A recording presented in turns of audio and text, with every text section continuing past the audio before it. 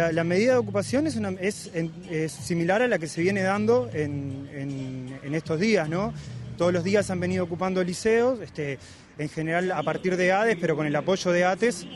Y bueno, hoy este, como, como ATES, estaba en asamblea, nosotros decidimos este, ocupar este, liceo, que es un liceo importante dentro de los liceos de Montevideo, en, apoyo a, todas las medidas de la educación.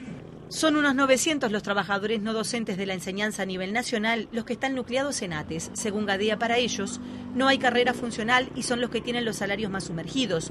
Lo que hace, por ejemplo, que un funcionario con más de 30 años de servicio, con una carga horaria entre 30 y 40 horas semanales, cobre en promedio entre 10 y 12 mil pesos nominales.